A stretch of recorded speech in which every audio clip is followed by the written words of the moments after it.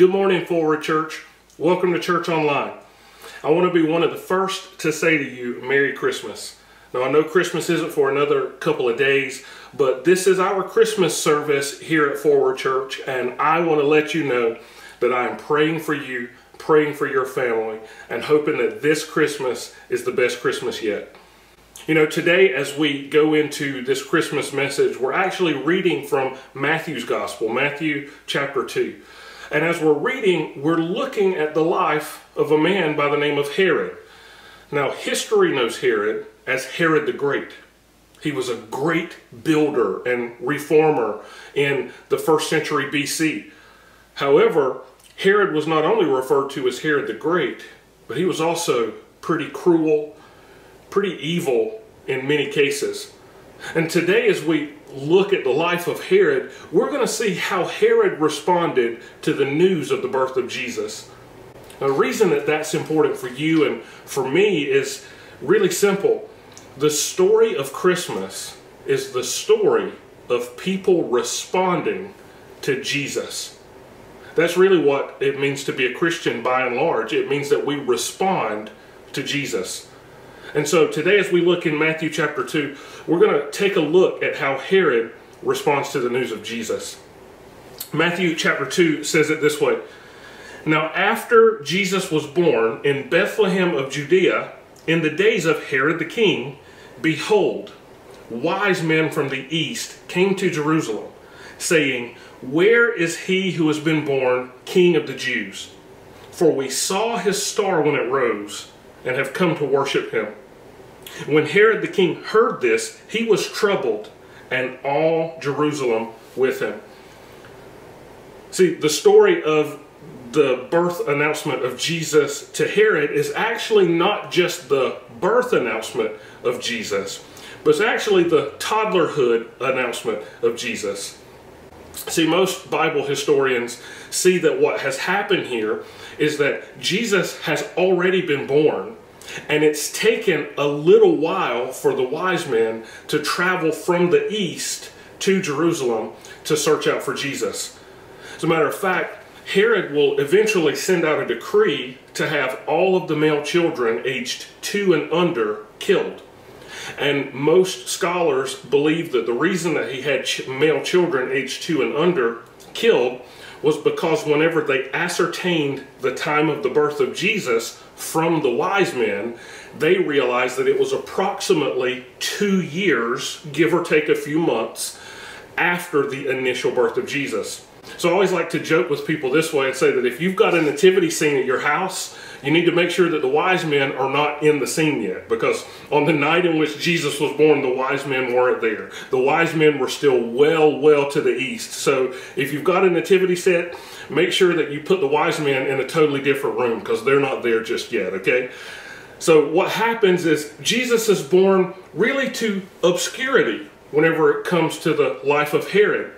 So if you read in Luke's gospel, you see the other accounts of the night of the birth of Jesus, and you see that it was shepherds that were told of the birth of Jesus. And the shepherds, they do show up on the night of the birth of Jesus, and they do see the newborn king. Well, these wise men, they're, they're well, they're hundreds, uh, thousands potentially miles away when they see in the sky this peculiar star now, in the ancient times, and even in our modern times with many cultures, people would judge great events by things that happen in the sky. We see that happening today in our modern world. People check their uh, astrology, their horoscope all the time. Well, that's what was happening with these wise men. They were astrologers. They saw this peculiar star. They associated it with the birth of a king, and they traveled to Jerusalem. Now, the Bible says that when they got to Jerusalem, which was the capital of Israel, the capital of Judea, they go to the palace and they find King Herod and they ask him, Where is the newborn king? And I just want to stop for a moment and remind you of what happened a few years ago whenever we had a new royal baby born. Now, since that first, newest of the royal babies was born, there have been a series of other royal babies born, and it seems like every time the world stops like we're all leaning in and anticipating the birth of this kid. And there, uh, it's on tabloids, it's on TV shows, it's on social media because everybody's excited about the birth of a royal baby. Well, these wise men, these king, kingly rulers, they come traveling looking for this newborn king. They go into the palace because, after all, where would a king be born? He would be born around the palace area. And they go to the palace and they ask Herod, who was the king at the time, Where's your baby? Where's the heir to the throne?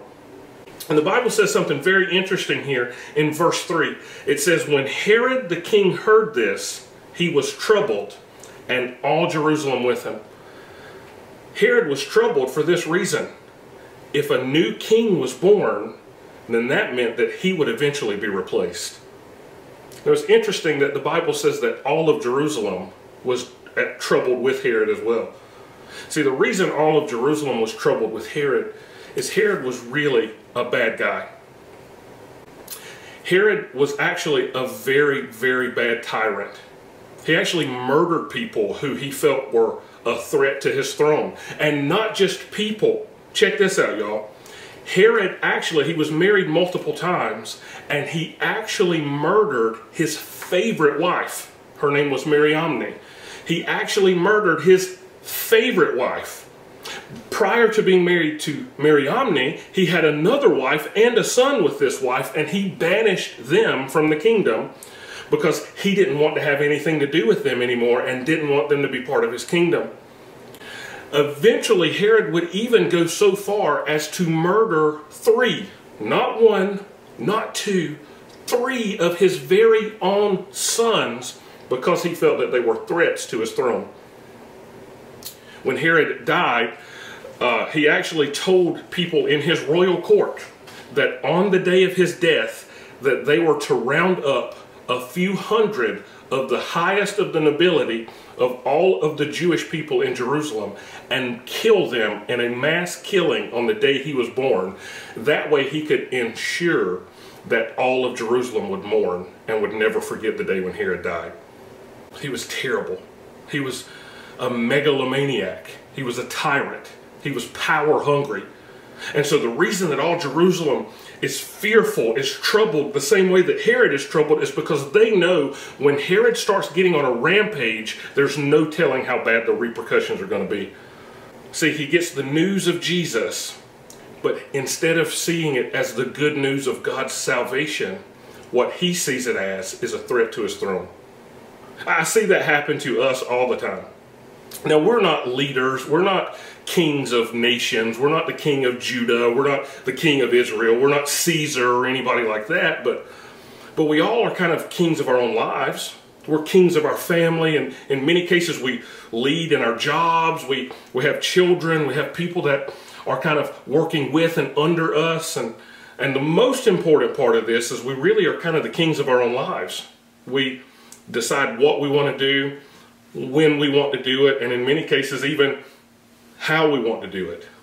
See, we lead our own lives.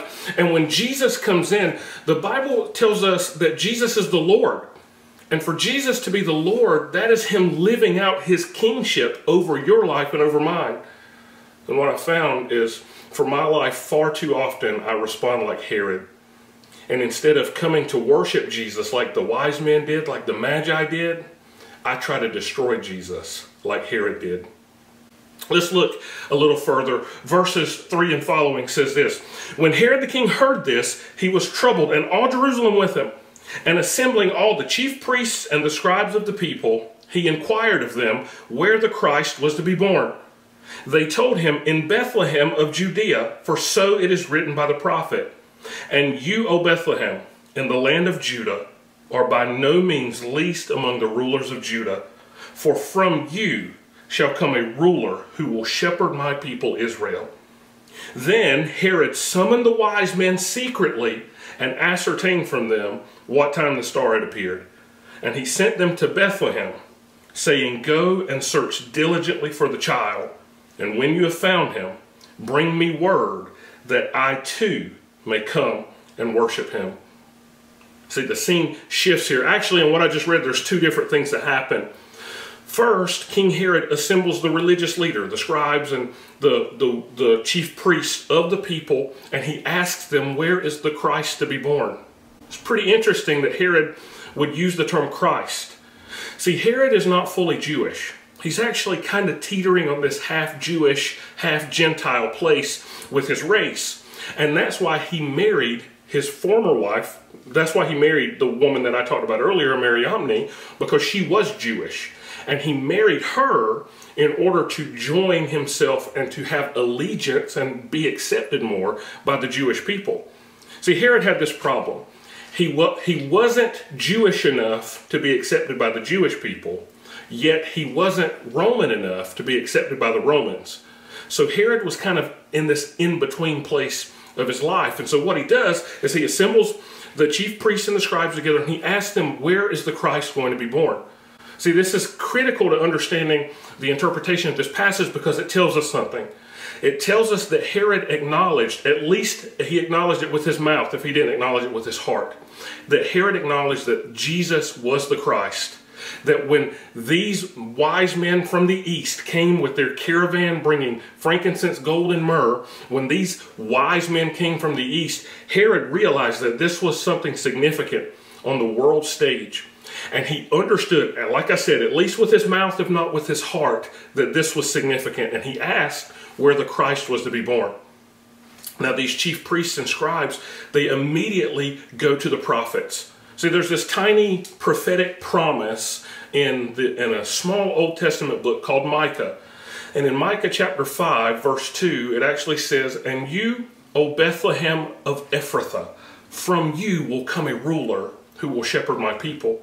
And traditionally, the Jewish people have used that to identify with David because David was possibly the greatest king in their history. And David was born in Bethlehem as a shepherd. And David eventually would rise up to be, like I said, potentially the greatest king that Israel had ever known. And from David's line, there would be this messianic kingdom promise of a king, a ruler, always being on the throne. And so Herod recognizes that this child that has been born is significant. He is important. He's not just important in the sense of what you and I would say important, but he has global and godly significance. He is the Christ that's to be born. And so he assembles these chief priests and he finds out where he's going to be. And then the second part of the scene happens. Then it says that he secretly called the wise men back in. I want you to just picture what's happening in this royal court before there's this huge caravan and these magi from the east come searching for this newborn king. See, many of us, we've Americanized the story of the Nativity. And we typically think that when the wise men came that there were only three of them. Now the reason we think that is because of the, the gifts that they brought. They brought three gifts, gold, frankincense, and myrrh. However, the Bible doesn't say that there were only three more than likely this was a royal entourage. This was a great caravan. And so we're talking 20, 30, potentially 40 people. This is a huge ordeal of people coming from the ancient East to find this king. So imagine the city of Jerusalem when this is going on, when they see this outside procession coming in. I think about the times in my life when I've been to Washington, D.C. There have been a handful of times when I've been in D.C. and the president has actually been going from maybe the Capitol building or, or, or somewhere like that, and there's been a motorcade going on. Anytime that that happens, the Secret Service and the local police shut down the streets. They're barricading stuff off and they're making sure that the people are kind of at a safe distance away from, from the president. Well, it's important because there's this dignitary, but not only does that happen, but people, y'all know how we are, we get nosy and we start kind of looking around trying to see what's going on and a crowd starts to form. Well, that's what's happening in Jerusalem. They see all of these camels coming in from the east and these these uh, these uh, ex exotic looking people that are coming into town that are these outsiders and they go to the palace. They know something big is happening and something big's going on. So what does Herod do? Herod secretly calls the wise men back in because he doesn't want to create a bigger stir than it really is.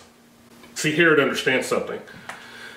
In the ancient Near East, and really not just the ancient Near East, in ancient times, if you could get a mob mentality to happen, it would snowball to this place of revolution. And so Herod quietly brings these wise men in so that no one else in Jerusalem hears that there's a new king born. Because after all, Herod wasn't Jewish enough to be accepted by the Jewish people. The Jewish people actually hated and despised Herod.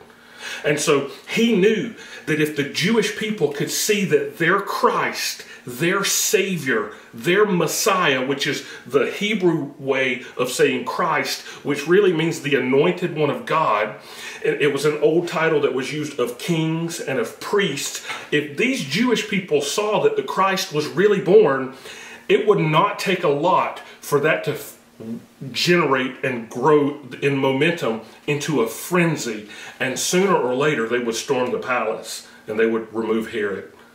So he calls these wise men in secretly and he says, Hey, go to Bethlehem. And when you find the child, hey, come back and let me know because I want to worship him. The truth is, Herod didn't want to worship Jesus. Herod wanted to kill Jesus. As a matter of fact, look with me in the Bible at verse 16 of Matthew chapter 2. Look at what it says. Matthew 2 6, 16 says this Then Herod, when he saw that he had been tricked by the wise men, became furious, and he sent and killed all the male children in Bethlehem and in all that region who were two years old or under, according to the time that he had ascertained from the wise men. See, Herod, he lied to these guys. He tries to gather them in secret and under the guise of worship. He claims that he wants to go and pay homage to this new king. But really, he just wants to remove him. Because at the end of the day, Herod was threatened by power. He was power hungry. He didn't want to give up control. He didn't want to be replaced because he had a place and he didn't want anybody to replace him with a new kingdom, with a new king. Guys, he killed his favorite wife. He killed three of his sons. He kills multiple children throughout Bethlehem, all because he's not willing to bow to the new kingdom and the new king that God has brought into place. So when you zoom out and you look at the overall context of the Gospel of Matthew, here's what you see. The Gospel of Matthew, one of the primary things that it does is it shows us that Jesus is the King of Kings, the King of the Jews, the Savior of the world. And so what you see is this replacement motif where Herod was once reigning, now God has a son, Jesus, who will reign. Where Caesar was once Lord of the world, now you have the Messiah, the Savior, Jesus, who will be the Lord of all the earth. And so Herod does everything in his power to kick against this. He does everything in his power to try to save his power, and he ultimately ends up resisting the very power of God. Now, as we've talked about Herod's story, I just want to ask you, what is your story? Yeah, you're not the king of, of Judah. You're not reigning in Jerusalem. You, you may not even you may not even be a manager at your job. You may not even be an assistant to the manager. I, I don't know what you are or what's going on with you, but here's what I do know. The story of Christmas is the story of people responding to the news of Jesus. And so I want to ask you, how are you responding to the news of Jesus? All throughout the Nativity story, you see people responding to the news of Jesus. You see Mary is approached by an angel and she responds to the news of Jesus. Joseph, whose world is shaken and he feels betrayed and he's confused and doesn't understand what's going on, he still receives a prophetic dream from an angel and he responds to the news of Jesus. We see even the magi or the wise men that we talked about today coming from the east. They saw a global phenomenon in the sky and they knew that there was a king to be born, and so they responded to the news about Jesus. We see Herod, who has travelers coming from a long way away he gathers the chief priests and the scribes of the people, the religious elite, to find out that the Christ will be born. And he puts two and two together to realize that the Christ not only will be born, but has been born in Bethlehem. And he has a choice to respond to Jesus and he doesn't respond in the healthy and the accurate way. My question for you is how are you responding? As you've heard me talk about Jesus and Him being the King of your life and Him being the King of your family and the King of your finances and the, the King of, of your world, how are you responding? See, there were two groups of people here in this message that we've talked about today. There are wise men that go to worship Jesus. But then on the other hand, there's Herod, who hears of Jesus but refuses to worship. And ultimately, friends, at the end of the day, that's what separates every human on the face of the planet is how will we respond to Jesus? Will we worship him? Will we come to him for forgiveness of our sins? Will we come to him and trust him to be the Lord of our life? Or will we, like Herod, want to have nothing to do with him and actually try to get rid of him? My prayer for you this Christmas is really my prayer for me and my prayer for my family and, and, and really my prayer for all of us that, that we're ministering to as a church is that we respond the right way to Jesus. And that is through repentance and through faith and through submission and surrender to His will. Let me tell you something. At the end of the day, when we all examine our lives, what matters most is that we respond in a healthy way to Jesus. Let's pray together. Heavenly Father, I thank you for your Son Jesus. God, my prayer today is that we would respond to Jesus in an accurate and in a life giving way. Give us the faith to bow our knees to Him. Give us the faith Give us the surrender. Help us to not hold on to being the king of this world, but rather may we let go and trust Jesus as the king of all the world and every world that is to come. God, let us not be like Herod, but rather let us be like all those who responded positively to the news of the Savior of the world. It's in His name we pray. Amen. Guys, thank you for spending today with me. Merry Christmas to you. Speaking of Merry Christmas, as we prepare to receive tithe and offering today, I want you to know something. Forward Church, you came together like you always come together. Because of you, one family has had Christmas taken care of completely. Now, let me tell you something, guys. We're talking, I just got through talking about how important it is to respond to Jesus. That's a response. That's a response to Jesus that you are able to continue to give money and not just give money, but several of you actually purchased gifts that we were able to give to this family so they could make sure that their kids had a Christmas this year. And so, guys, I love you and I appreciate you, and I want to say thank you for that.